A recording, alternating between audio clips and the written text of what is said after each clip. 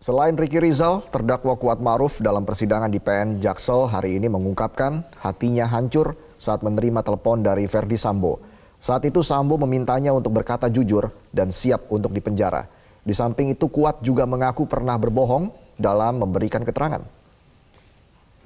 Selanjutnya saudara tinggal di situ dari tanggal 8. Kemudian saudara kapan saudara ditangkap? Bukan Dan ditangkap ditahan. yang mulia. Diapain? Saya datang ke kantor Bareskrim. Mm-mm, tanggal berapa itu? Waktu jadi tersangka kalau nggak tanggal 8, tanggal 9 saya lupa. Ah. Jadi saya benar ditangkap.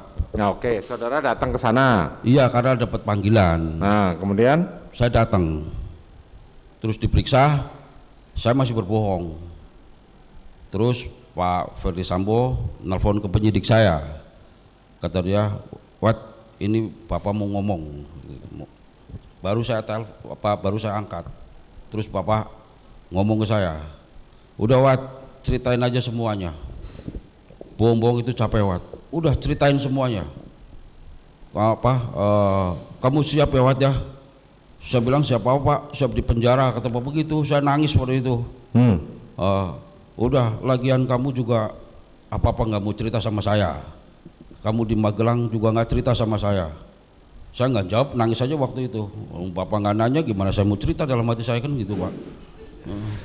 orang nggak ditanya ya kan? Lah iya. Terus waktu saudara dibilang siap di penjara maksudnya bagaimana?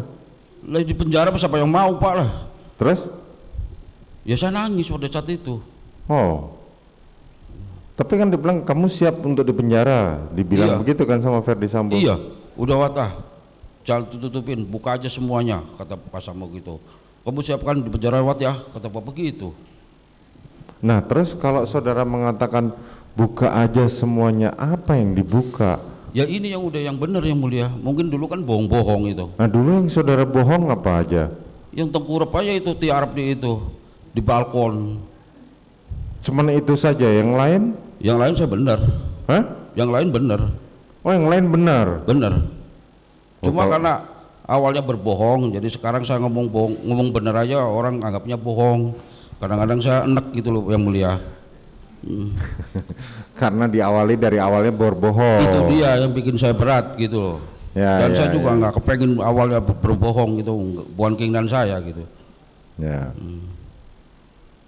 Terus saat saudara di dalam sel, saudara pernah ditengok sama Ferdi Sambo atau Putri? belum pernah yang mulia Belum pernah, baru ketemu di ruang sidang aja sama di sel. dulu pernah ketemu di konfortir Oh, waktu dikonfrontir. ya Nah, terus ketemu sama bapak sama ibu itu. iya Terus apa disampaikan? Eh, bapak minta maaf Minta maaf. ya maafin bapak ya ya kata begitu Saudara nggak nagih, Pak mana Pak 500 jutanya yang kemarin Pak? Wah nggak kepikiran yang mulia Oh nggak kepikiran, nah sekarang kepikiran nggak? nggak stres doang sekarang Oh stres. Ya. Ya ya.